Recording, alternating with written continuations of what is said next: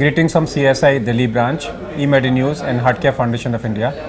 Welcome to our show Chat with Dr. KK. We have with us Professor Dr. M. Khalilullah, who has been recipient of Padma Shri and Padma Bhushan, who has been former director and head GB Pant Hospital, New Delhi, former member Scientific Council American Heart Association, and who is a honorary professor, the Cromwell Hospital, London. Welcome to our show. Thank you, KK. Uh, we talk about syncope.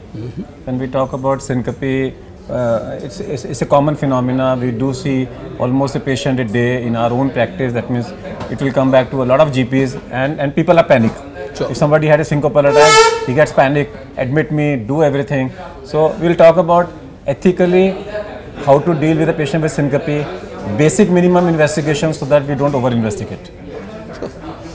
Uh, syncope is a very common symptom occurring in all ages of population, more so in the age group beyond 40 years of age. It may be occurring many times in a week or in a day or occurring once in several months. Its uh, intensity may be very subtle and the patient just lose little shaky that's all and sometimes become so deeply affected by syncope that he may even drop down and become unconscious. So the grades of syncope are quite a bit. A situation can come when the patient can anticipate something going to happen to him, we call pre-syncope. Now all these symptoms have a lot of relevance to the clinical situation of a patient. It may be just fatigue, it may be uh, lack of uh, conditioning, anemia, uh, long uh, eating intervals, uh, and uh, or it could be manifestation of side effect of many drugs, you know, like blood pressure medicines. And therefore, I always do is take blood pressure recording sitting and standing. So the patient has a fall of blood pressure. We get to know that he is going to have fall of blood pressure. You can either caution him or reduce the medication in such a manner the symptom goes away. Or it can uh, happen spontaneously while sitting or driving a car or talking to somebody and suddenly he feels uh, uh, loss of environment, he becomes hazy, he becomes drowsy and he may even drop down. Now these things can happen because of three, four very significant conditions like arrhythmia.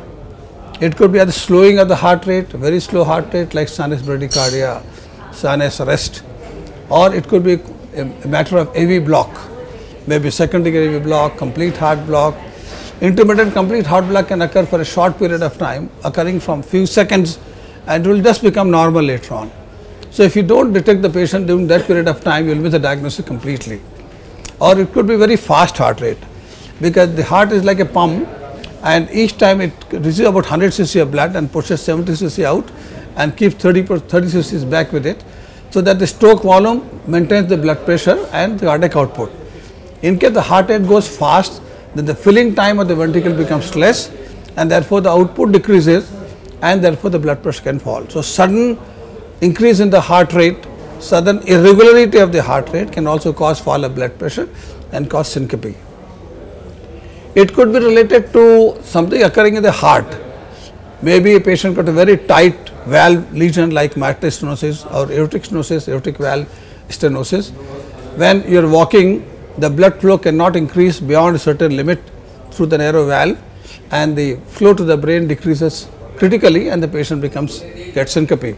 So this could be a manifestation of significant heart disease like severe pulmonary stenosis, severe mitral stenosis, severe especially severe aortic stenosis. And in aortic stenosis, it's an ominous sign because when this happens, if the patient has critical aortic valve narrowing.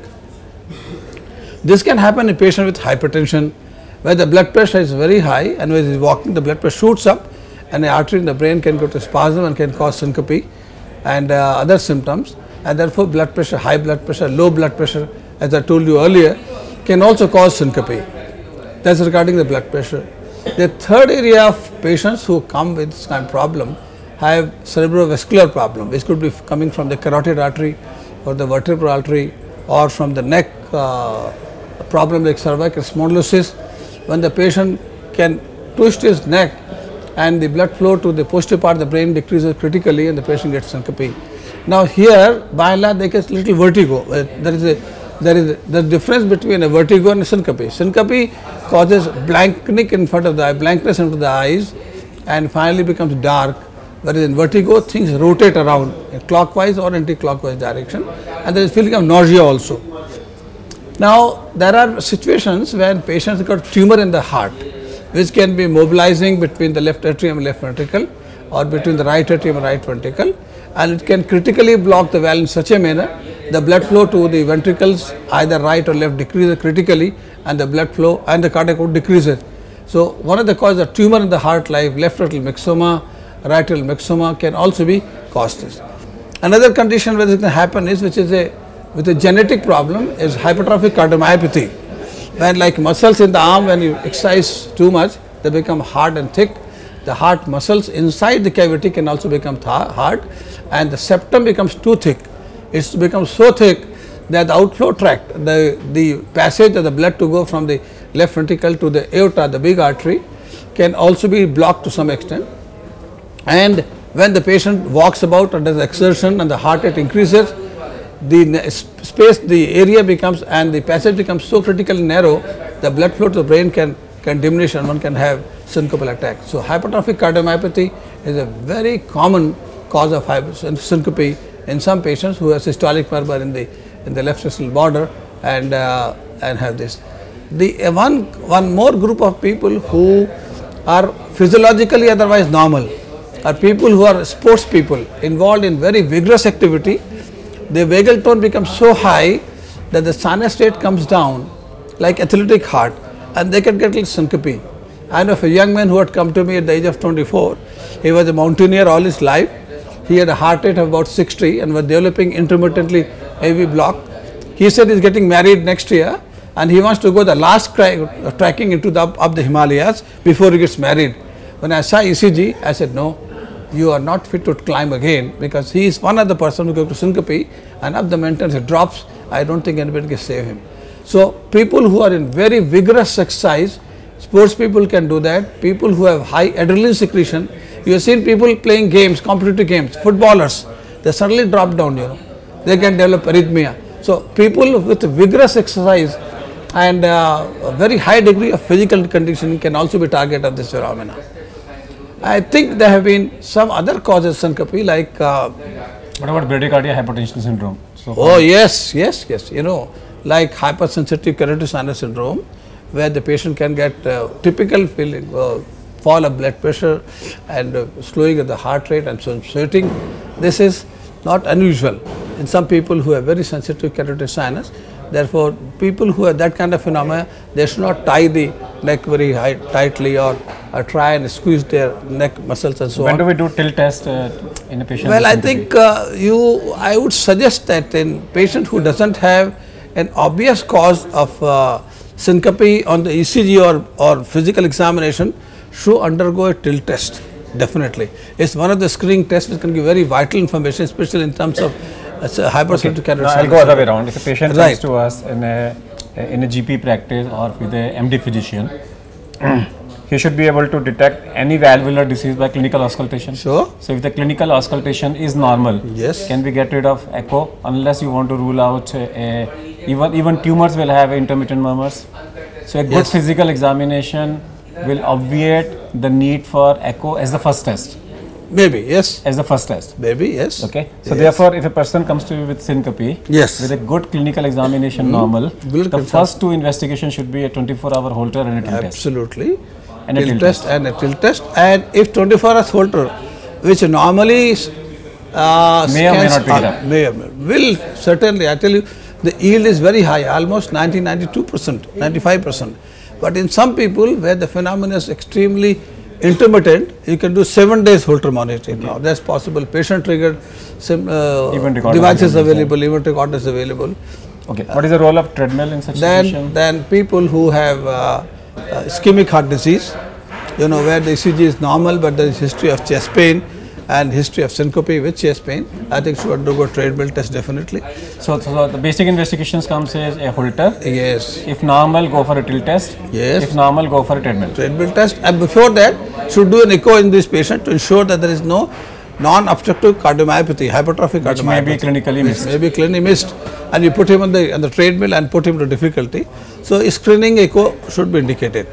And and the role of angio. And if, with, with all this, with all this, I think if there is a positive TMT test, of course you will do an angio. But I think when patients of tachycardia and bradycardia or AV block, electrophysiological studies are indicated, where you to find out what is what is the status sinus node function, what is the status AV node conduction, or distal his bundle or or Purkinje conduction, or there is inducible arrhythmia, supraventricular or ventricular arrhythmia, which can cause this phenomena. I have seen some young people coming with uh, drop attacks, and you do a Holter to find that short, uh, non-sustained runs of VT, you know, and uh, the patient dropping down. You put an AICD and he gets cured. The life is life is saved, you know. So, so, so Graded investigation. So the the, the, the take home message is Yes. syncope should not be ignored till you No, find out the cause. absolutely you find the cause. You need to find out the cause, I- even if you have to go to any extent for investigation. Absolutely, absolutely, because that is treatable condition, you know. I have seen all my life, 52 years of experience. I have seen so many patients. I know of a very senior officer in the government of India who was uh, attending a meeting with the visiting uh, defense minister in a five-star hotel, and I was att- attending a wedding ceremony where I was told that somebody had dropped down. When I went to see him, I found the patient had a pulse rate of 12. I gave him a cardiac massage, bring out. When he was recovering, he again and again went back again. So again the cardiac massage came out. I took him to my hospital and I told him you have got AV block. So he said no, he is suffering from epilepsy. So I, it took me hard to explain to him and convince his boss, very difficult boss, I won't take his name, to convince that this man, this man needs a pacemaker. I put in a pacemaker, stopped all his epileptic drugs, anti-epileptic drugs, and the man thanked me, okay, thank God, Dr. You saved me from anti-epileptic drugs and its side effects. So correct diagnosis can make all the difference in the quality of life of a patient. So what Dr. Khalilullah says is, be aware, don't misdiagnose mitral stenosis as asthma and don't misdiagnose complete heart block transient patients with epilepsy. These are the patients who require a continuous treatment. Uh, let's thank Dr. Khalilullah. Thank you very much. Thank you. Thank That's you, all for today. We'll It's come back with one more show. Till that, goodbye. Thank you. Okay, bye-bye.